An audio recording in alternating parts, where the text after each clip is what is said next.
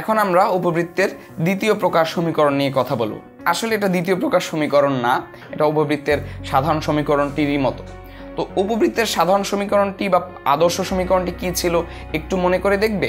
হ্যাঁ আদর্শ সমীকরণটি ছিল x square by a square plus y square by b square equals one তো এটি ছিল আমাদের উপবৃত্তের যে স্ট্যান্ডার্ড ইকুয়েশন বা প্রমিত সমীকরণ বা আদর্শ সমীকরণ। তো এই যে আদর্শ সমীকরণ, এর সাথে এর পার্থক্যটা আসলে কোথায়? আমরা যখন একটু আগে পরবৃত্তের সমীকরণ নিয়ে কথা বলছিলাম, আদর্শ সমীকরণ, সেখানে আমরা বলছিলাম যে এর যে কেন্দ্রটি, এই সি এটি মূল বিন্দুতে অবস্থান করছে এবং তখনই এর সমীকরণের আকার এরকম। এখন যদি সি মূল বিন্দুতে অবস্থান না করে, তাহলে আসলে বিষয়টি কীরকম হবে?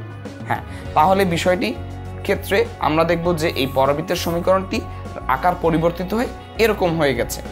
অর্থাৎ আমাদের এই যে মূলবিন্দু মূলবিন্দু থেকে যে যতটুকু আমরা সরে এসেছি, অর্থাৎ আমাদের কেন্দ্র মূলবিন্দু থেকে যতটুকু সরে এসেছে, সেই স্থানাঙ্কটাই শুধু আমাদের এই সমীকরণে অতিরিক্তভাবে জানতে হবে।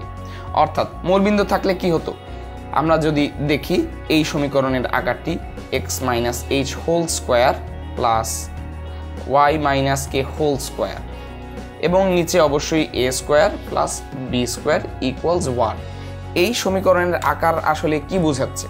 এটা বোঝাচ্ছে যে এক্সে আমাদের আগের যে মূলবিন্দুর স্থানাঙ্ক ছিল, তার ভুজের মান ছিল শূন্য। সুতরাং এটা যদি এইচ যদি শূন্য হয়ে যায় এবং কে যদি শূন্য হয়ে যায়, অর্থাৎ জিরো কমা জিরো বিন্দুতে হয়, তাহলে আমরা আমাদের আগের সেই মূল বিন্দুতে অবস্থানকারী পরাবৃত্তের আদর্শ সমীকরণটাই পেয়ে যাব। কিন্তু এইচ এবং কে যদি শূন্য না হয়, অর্থাৎ কেন্দ্রের স্থানাঙ্ক কেন্দ্রের স্থানাঙ্ক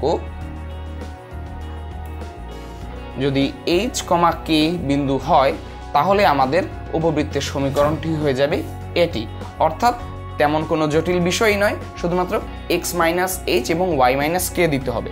অর্থাৎ এই যে ভুজ এক্স থেকে ভুজের মান বিয়োগ করতে হবে এবং ওয়াই থেকে কোটিয়ের মানটি বিয়োগ করতে হবে এবং আগের মতো স্কোয়ার করে নিচে এ স্কোয়ার এবং বি স্কোয়ার দিয়ে ভাগ দিয়ে এবং ডান পাশের রাশিটি সবসময় এক থাকবে। তো এটি হচ্ছে আমাদের উপবৃত্তের সমীকরণ যখন কেন্দ্র মূলবিন্দুতে থাকবে না।